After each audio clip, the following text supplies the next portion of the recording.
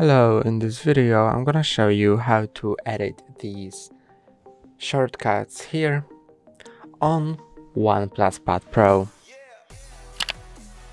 You can add or remove shortcuts to your control panel on OnePlus Pad Pro by sliding from the top of your screen and then click on the three dots here, click on edit tiles and here you can see all of the tiles that are added.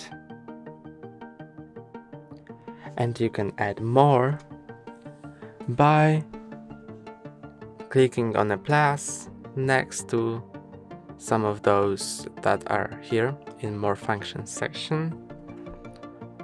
Just click on these ones you are interested in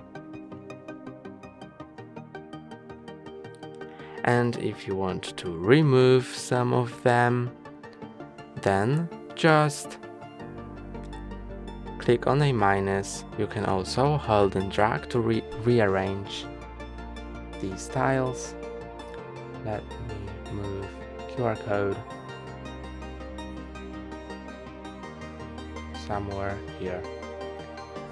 And when you're done click on this arrow to go back and you can see that my shortcuts panel is edited. That's all for today, don't forget to like and subscribe, see you next time.